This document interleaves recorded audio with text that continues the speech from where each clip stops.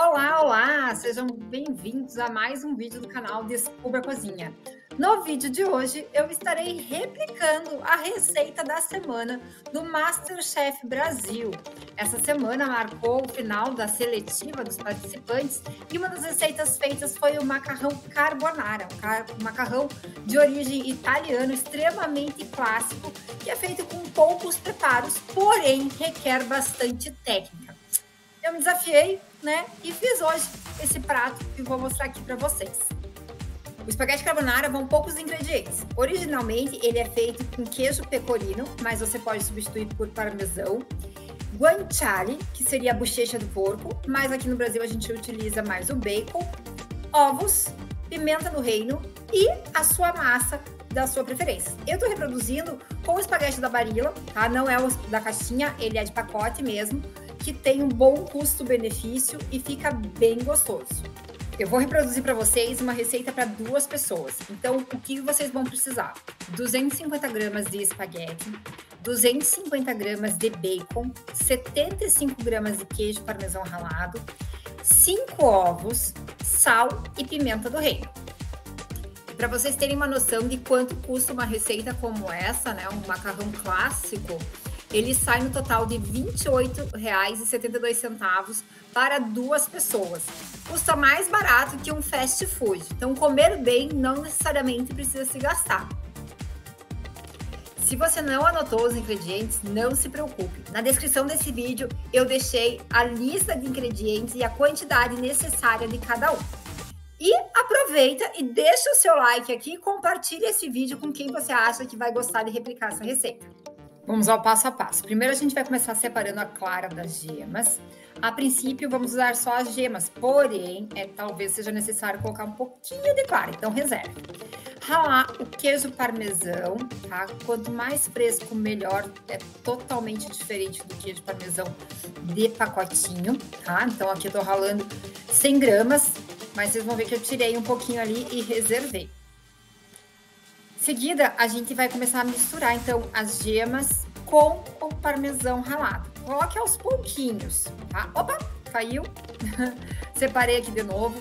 Misturo, tá? As gemas com 75 gramas do queijo parmesão e vou ver a consistência. Ela não pode ainda estar tá muito grossa, tá? Então, se for necessário, acrescenta a outra gema, que nem eu já coloquei aqui.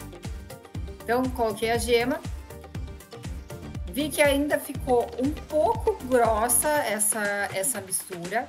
Então, eu vou pegar a clara que eu separei e vou adicionar. Deu mais ou menos um ovo, tá? E incorporo bem para deixar essa mistura mais é, líquida, certo? É hora de colocar, então, a pimenta do reino moída.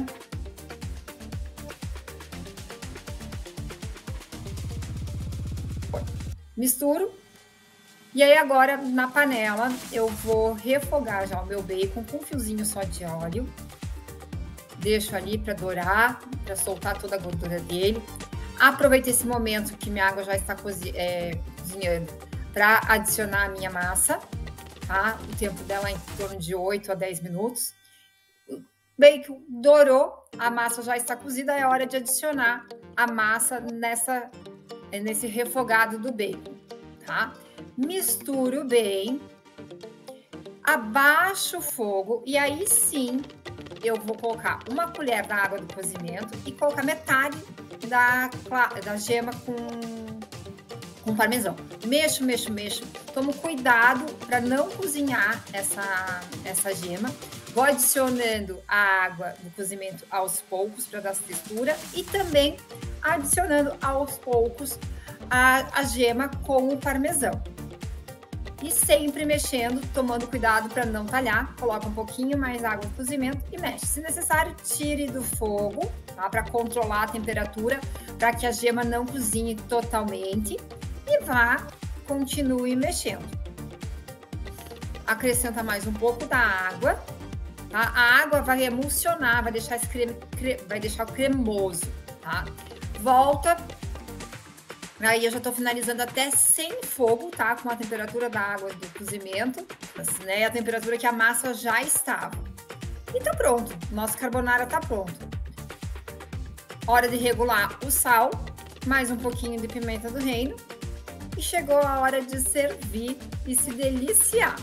Tá aí o resultado do meu espaguete à carbonara. É, eu achei que ele ficou um pouquinho cremoso demais. Comparando então com os participantes do Masterchef, a Ana fez um macarrão um pouquinho mais ralo.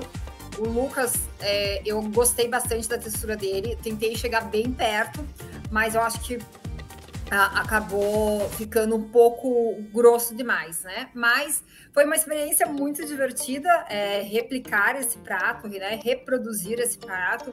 Como eu já falei anteriormente, requer bastante técnica, então você tem que ir cuidando da temperatura da água para não cozer a gema, para não passar. E aí também não pode talhar. Então é aquela, aquele jogo: coloca um pouquinho de água, tira do fogo, abaixa o fogo para trazer essa textura.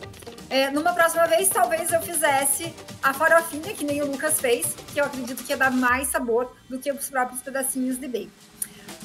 Mas é isso, pessoal. Eu espero que vocês tenham gostado do vídeo de hoje. Se gostou, deixa o like, se inscreve no canal e deixa aqui nos comentários qual prato que você gostaria que eu reproduzisse no Masterchef. Nos vemos em breve, pessoal. Até mais!